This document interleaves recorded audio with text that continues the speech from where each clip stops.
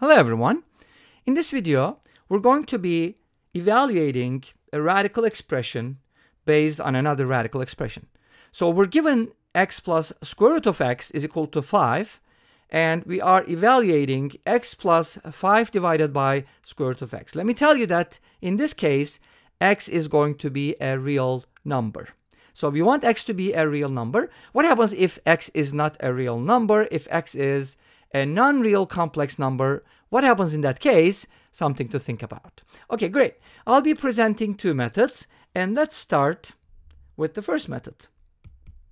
Because first method is almost always more fun, right?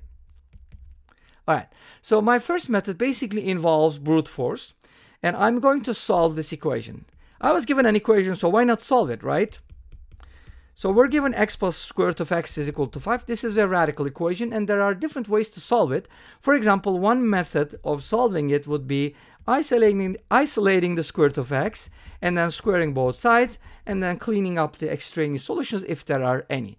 Obviously, you want x to be a real number, so x must be greater than or equal to 0. In this case, it's going to be positive, of course. It can't be 0, right? Because x equals 5 does not work. So you want x to be positive, so 5 minus x needs to be positive, which means x needs to be less than 5. So that gives you a restriction on the solutions, and you can kind of work it out. That's one method uh, to do it. Another method, which I'm going to be using, is substitution. Obviously, substitution is a cool method, right? Don't you agree? Uh, I'm going to name square root of x equal y. And this is greater than 0 because square root of x, we know that x does not equal 0 because x equals 0 doesn't satisfy the equation. So we want our y value to be positive. So I'm going to turn this into a quadratic equation. If square root of x is equal to y and x is positive and y is positive, this implies that x is equal to y squared. So let's go ahead and replace x with y squared and square root of x with y and put the 5 on the left hand side and come up with a quadratic. This quadratic is super duper easy to solve with the quadratic formula. You know, it's going to equal negative 1 plus minus the square root of b squared, which is 1, minus 4ac. 4 times 5 is 20. 20 plus 1 is 21. Oh, great. Okay, so that's going to be the discriminant, or delta, whatever you want to call that, is going to be 21. And that is going to be, I don't know why this is just happening. Okay, this is going to be divided by 2. So those are the y values, but notice that we get two y values from here. One of them is negative 1 minus square root of 21 divided by 2, and the other one is negative 1 plus square root of 21 divided by 2. Now, the, the first solution we get is going to be less than 0 because the numerator uh, is a negative value. Therefore, we're not going to accept it because remember, we said that y has to be positive. So we're not we're not going to take this value and we're going to go with the unique value. Obviously, we should come up with a unique value. Otherwise, the, this is going to have multiple answers. Okay, so that is the y value we're going to accept. And let me write it in a nicer form, uh, writing the positive term first. So y equals square root of 21 minus 1 divided by 2. Obviously, y, I'm not interested in y directly. I want to find x. And remember, x is equal to y squared. So let's go ahead and square this expression. And to get x from here, we're going to square it. If you square a minus b, you know you get a squared minus 2ab plus b squared. And then if you put it together, you're going to get uh, 21 plus 1, which is 22, minus 2 times the square root of 21 divided by 4. And we can simplify this, divide by 2, and write it as 11 minus square root of 21 divided by 2. So that is the x value we are going to be using. And we also have a value for the square root of x because remember y is equal to square root of x. So those are the two values that I will be subbing into my expression. I'm supposed to evaluate x plus 5 over square root of x. Remember that. So I'm going to replace x with 11 minus root 21 over 2 and the square root of x with square root of 21 minus 1 divided by 2. We're going to flip-flop and then multiply these and that's going to give us 11 minus root 21 over 2. 2 is going to be multiplied by 5 and then that's going to give me 10 divided by square root of 21 minus 1. At this point, I want to, what is that called? Rationalizing the denominator, right? I want to rationalize the denominator.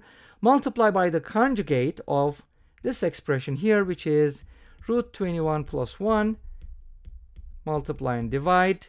And now this is just going to stay as is. I'm not going to distribute it. Or maybe I will. I don't know. Well, depends. But when you multiply these two together, you're going to get the following. You're going to get 10 times the square root of 21 plus 1 divided by 21 minus 1, which is going to be 20. Now we can definitely simplify this. Let's go ahead and simplify. And we get a 2 here, which is nice because we don't have to make a common denominator. We already have 1. And the numerator becomes 11 minus the square root of 21 plus the square root of 21 plus 1 all over 2. Square root of 21 cancels out and we end up with 11 plus 1 divided by 2 which is equal to 6. So my expression uh, which uh, was given as x plus 5 over square root of x is 6. And that's what I was trying to solve for, right? Or evaluate. Great. So that is the end of the first method. Let's go ahead and use the second method and see what that looks like and see if we can find the exact same value by using the second method. Obviously, second method is going to be nicer uh, and hopefully you can call this more elegant, but it's up to you to decide. So we're given x plus root x equals 5, and we're supposed to evaluate x plus 5 over root x, right? That's what we're supposed to find. Now, I'm going to be doing something interesting here, and something. this is something that we don't uh, always see, or uh, sometimes you overlook these things. So, um, you know, something to think about usually we replace variables with numbers, but how about replacing a number with a variable, right? So in this case, in our expression, we're going to replace 5 with x plus root x. And let's see what happens. So I'm going to start off with my expression right here. So it's x plus 5 over square root of x. And now I'm going to replace 5 with this because 5 is equal to that. So let's go ahead and replace 5 with x plus root x. And of course, I'm supposed to divide it by root x. And this is what I'm supposed to evaluate. Now notice that this can be factored. Square root of x divides x. So I can write it as square root of x times the quantity root x plus 1 divided by root x.